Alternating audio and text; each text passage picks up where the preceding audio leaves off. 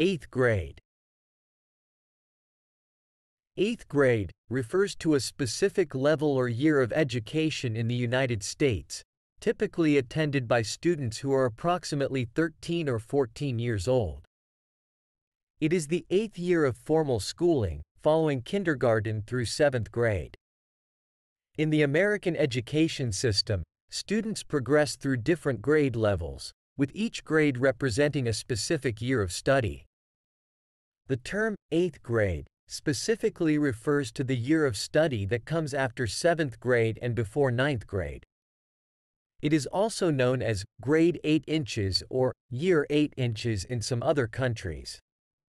Here are a few examples that illustrate the usage of 8th grade 1.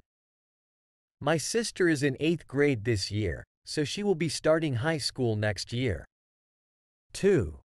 The science curriculum in the 8th grade focuses on topics such as chemistry and physics. 3.